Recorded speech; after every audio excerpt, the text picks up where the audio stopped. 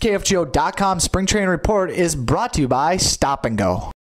Mike McFeely for KFGO Radio here in Fort Myers, Florida, Twins Spring Training 2014, talking to Twins pitching coach Rick Anderson. And, and Andy, I, I sense from being around here for the last few days that there's just a different feeling about the rotation this year, maybe going into Spring Training 2014 with Nolasco and Hughes at the top of the rotation. Now, do you, is that accurate, or, or what are your thoughts? Yeah, we're, we're, we're real happy with that. And, and uh, getting two pitchers with the quality arms and stuff and history of these two is, is real nice to lead your staff. And uh, the veterans, and then you know we got some kids coming up, and and and uh, uh, who who's better to teach these kids that than than your some of the veterans that we got, and and uh, so we're we're real excited, and uh, like I said, we got this is probably the best set of arms we've had in a while, and uh, you know we have 29 pitchers in camp, and and it's every day is fun. I mean, you get the chance to watch these kids throw and and what we got coming and what we got here, and uh, we're all pretty excited about it. When it comes to Nolasco and Hughes, are these guys? What should Twins fans expect? Are these guys the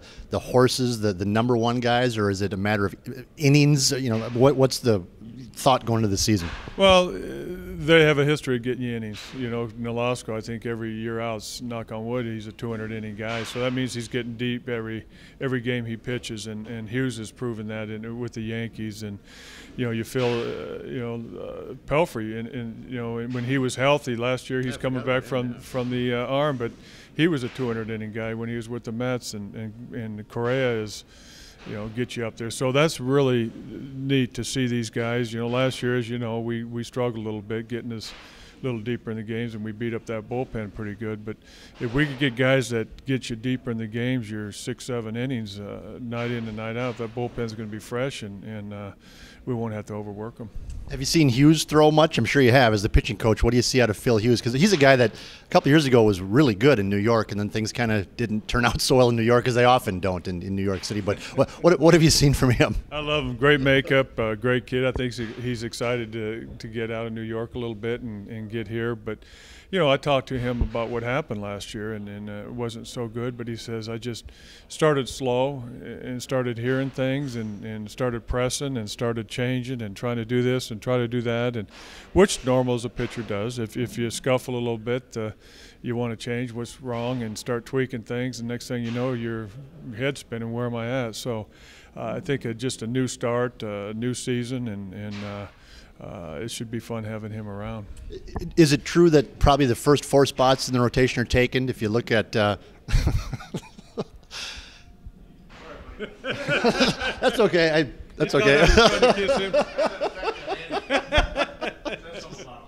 it, was, it wasn't so much the wink; it was the smooching of the lips there. That was the. Sorry about that. Uh, if you look at if you look at Nolasco, Hughes, Pelfrey and Correia, are those the first four guys? Is that pretty much set in stone? And then are you looking for that fifth starter out of spring? Yeah, if they all stay healthy, and, and uh, basically that's it. And, and we got, uh, boy, we got, which is a nice thing. We probably got four or five guys shooting for for a spot in the rotation, which you know, uh, last couple of years we had four or five guys shooting for four or five spots. I mean, we were a little bit thinner, but this year with when you got that shooting for the last spot, that's a good thing, and, and competition's a good thing, and uh, it should be real entertaining spring training. So the question of the day, then, and you don't know the answer, but I'll ask it anyway: is who's going to take that fifth spot? Who are the guys that you're seeing very early in spring here who are who are making a run at that? Well, we got uh, Worley. Uh, we, you know, we got Scotty Diamond, who's been there, and we've seen that, seen him a little bit. Kyle Gibson, Sammy Deduno, who did a wonderful job for us last year, and you know, we got some babies coming. You know, Trevor May and, and uh, Alex Meyer and.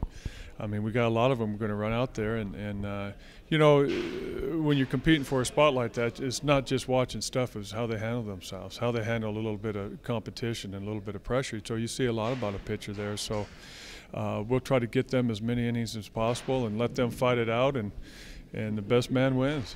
On the offensive side, fans are very excited about Byron Buxton and Miguel Sano coming up, but the name we keep hearing uh, over and over is Alex Myers, that guy that everybody should wait for and just wait till he gets up here and wait till you see what he's got. I, is he close to being a major league pitcher right now, and could he end up with the team coming out of spring, or is that maybe uh, something down the road a little bit for Alex? Well, I would think uh, it wouldn't hurt him at all to go back a little bit, but again, who knows what's going to happen? But you know, last year he missed that time with the shoulder down in Double A, and and anytime you miss time in the in the minor leagues like that, you're missing development. So, but he ended up going to fall league and did really really well in the fall league and showed improvement. And he's coming. He's a he's a riser and and, and uh, you know he, he he works hard. He's got a good look to him, and and and uh, day in and day out. And and uh, I'm really excited about this one. I mean, this kid has a chance to be very special. And he has a chance to be the top of the rotation type guy. Uh, but we just give him his time and, and, make sure he's good and ready when he gets there. Last question. Bullpen last year was pretty good considering that it got overtaxed, as you mentioned earlier. Uh, I guess the basic logical deduction would be that if you get better starting pitching, your bullpen might even be better because it'll have more rest, and guys like Swarzak and others won't get worn down. Is that what you're hoping for? Is what you're looking at? Absolutely. And, and that, to me, is – uh, you probably asked Gardy the same thing. We just frustrated is that you know the bullpen really battled their tails off all last year, and they were really they did a real nice job for us. But as you saw late in the season, end of August and into September, they were out of gas because we had to use them every night. So hopefully, with the addition of Hughes and Nolasco and have a Pelfrey a year off of the two years off of surgery now, and and Correia that uh, we could get deeper in the game and give these guys a breather and, and have them healthy and sharp and strong through uh, August and September. Andy, thank you. Absolutely, anytime. Thanks.